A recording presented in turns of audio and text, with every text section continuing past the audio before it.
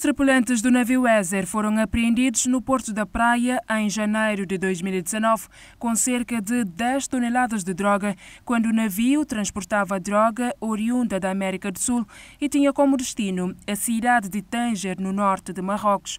Esta é a maior apreensão de cocaína realizada em Cabo Verde. Na época, os 11 marinheiros tinham sido condenados pelo Tribunal da Primeira Instância a 12 e 10 anos de prisão por crime de tráfico de estupefacientes agravado.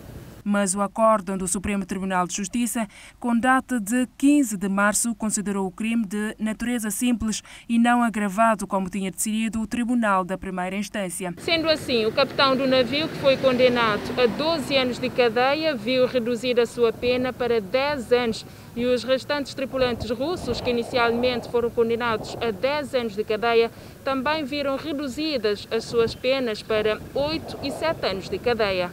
Um caso que pode conhecer novos desenvolvimentos nos próximos tempos, uma vez que a Rússia já solicitou a extradição dos 11 cidadãos presos em Cabo Verde há dois anos, um processo que está a ser analisado pelas autoridades cabo-verdianas.